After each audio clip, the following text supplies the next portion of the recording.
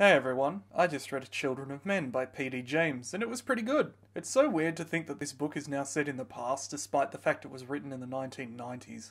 It's a book about a dystopian Britain in a world where no children have been born for the past 25 years. The pros? The dystopia on display in this book was one of the most mundane yet realistic I've ever seen. The author clearly put a lot of thought into how a lack of children would change society, and the council that rules Britain is depressingly believable. Theo Faron was a fascinating protagonist. From his stuffy narration at the beginning, I thought I had him pegged as an upper class moron, but there's a real depth to him that makes him both hard to cheer for, while also being one of the few decent characters in the story. And I really enjoyed the first half of the book, how it went into great detail about how the lack of children has changed day to day life for a lot of people in small British towns. The cons? That said, I did not enjoy the second half nearly as much. There was a lot to like about it, and it's probably much closer to the movie, which I haven't seen at the time of uploading, in terms of mood and pacing, but it just didn't grab me like the first half did. The book's portrayal of women was weirdly negative, with all but a handful being either passive or driven mad by a lack of children compared to the men who were good or bad on a much more personal basis and generally more active than the women. It just seems strange to me, especially given the author was herself a woman. And for such a bleak book, the ending felt way too clean and